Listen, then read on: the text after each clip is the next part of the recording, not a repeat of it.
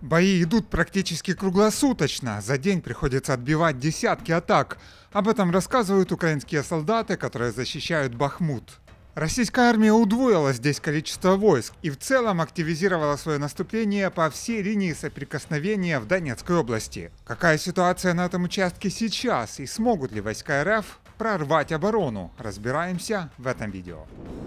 Это окраины города Бахмут. Здесь каждый день погибает около сотни российских солдат. Там рота точно ложится каждый день.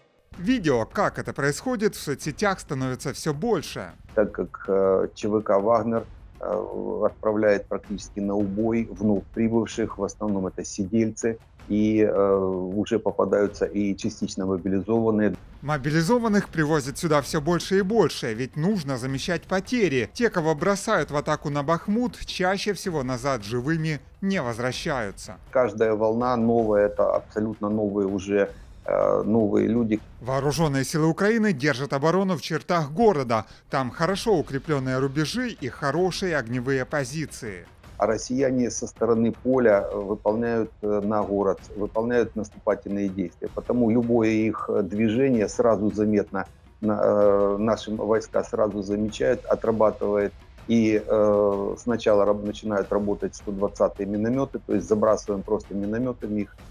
Если уже на, напрямую дальность, это уже работает стрелковая, работают пулеметы, то есть выкашивают практически волнами. И таких волн атак за день может быть много. Между этими атаками российские войска не всегда убирают с поля боя тела своих солдат. Вот как волна идет, так она и остается на поле. Им приходится второй, третьей, четвертой волне в день уже идти по трупам. За ночь они, конечно, стараются их убрать, потому что есть определенные моменты, связанные с антисанитарией, но тем не менее в течение дня им приходится по трупам своих соотечественников выполнять задачи. Но отказаться идти в атаку, либо отступать солдаты РФ не могут.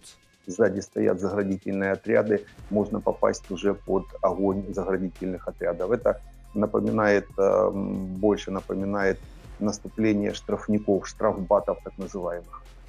Кроме пехоты, РФ несет под Бахмутом большие потери в технике. Вот на этом видео видно, как недалеко от города сбили российский истребитель Су-35С. Также здесь постоянно сбивают российские вертолеты К-52 и Ми-8. Но все же армия РФ пытается наступать по всей линии соприкосновения в Донецкой области. Вот российские военкоры пишут, что войска РФ атакуют в районе Новомихайловки, тактически давят под Первомайском и Водяным, пытаются пройти с юго-востока на Авдеевку и обстреливают из артиллерии Красногоровку и Марьинку. В украинском генштабе утверждают, что все атаки сейчас отбивают. Существенного продвижения россиян в Донецкой области нет, рассказал новостям Донбасса спикер восточной группировки войск ВСУ Сергей Череватый. Я уверен, что это, будет, это очень трудно, это ежедневный ратный труд, это кровь и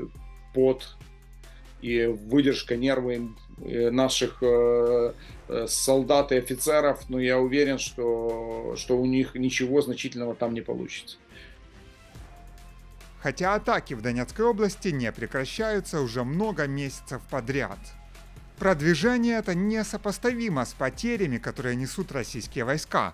Пример этому село Павловка под городом Угледар. Недавно россиянам удалось вытеснить оттуда украинские войска, но при штурме лишь за несколько дней погибло больше 300 солдат, и это были не мобилизированные с плохой подготовкой, а морские пехотинцы элитной 155-й бригады.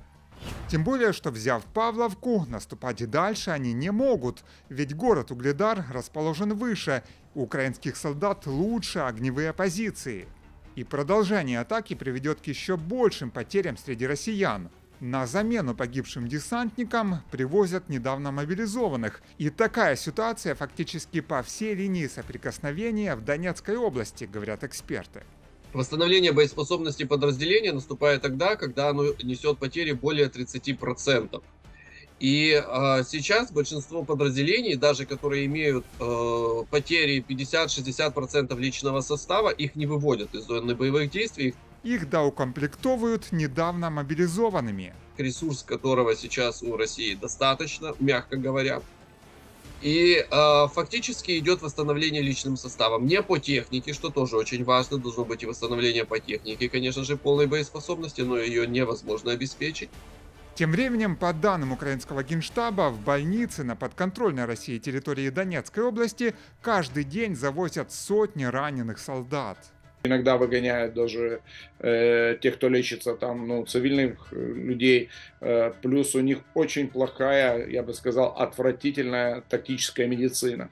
Эти э, аптечки это просто ужас по сравнению с украинскими. Я не говорю уже там более, более современных армий.